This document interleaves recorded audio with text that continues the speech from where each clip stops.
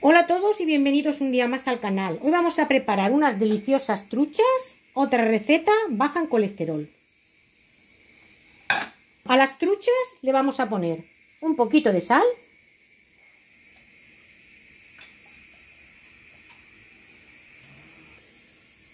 unos gajitos de limón,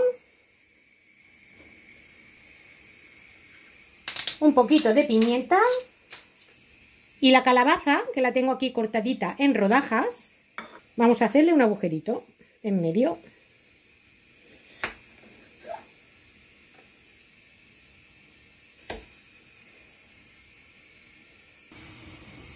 Tengo una olla con agua hirviendo. Le voy a poner media cucharadita de sal. Aquí en la sartén le voy a poner una cucharadita de aceite de oliva. Vamos a introducir la calabaza. La vamos a dejar que cueza durante 5 minutos. La trucha la vamos a poner en la sartén.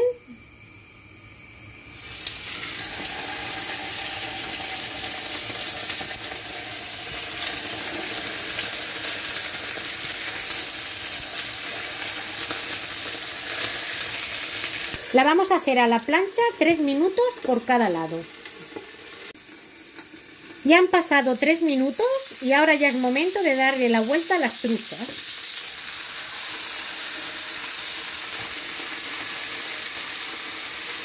Y la vamos a dejar 3 minutos más. La calabaza ya la tenemos. ¿Veis? Ya la tenemos blandita y la vamos a apartar. Vamos a poner una sartén en el fuego. Una cucharadita de aceite. Ahora que ya tenemos el aceite caliente, vamos a echar media cebolla. Y vamos a saltear hasta que esté pochadita. Las truchas ya las tenemos listas y vamos a apartar el fuego. A la cebolla le voy a poner media cucharadita de perejil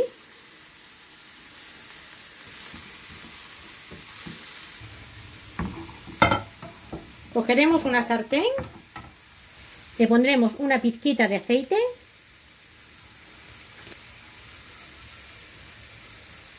vamos a coger la calabaza y la vamos a saltear.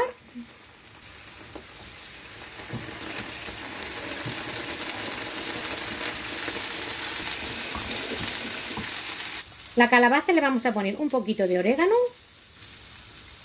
La cebollita ya la tenemos y vamos a apartar el fuego. Le vamos a dar la vuelta a la calabaza.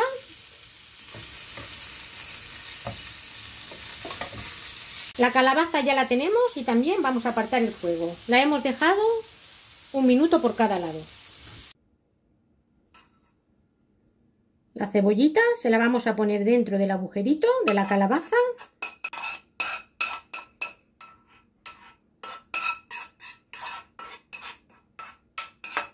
Pondríamos la salsita por encima.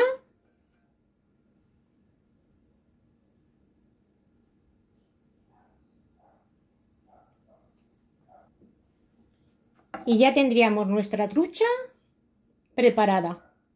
Mirar qué buena pinta que tiene. Esta receta saludable baja en colesterol.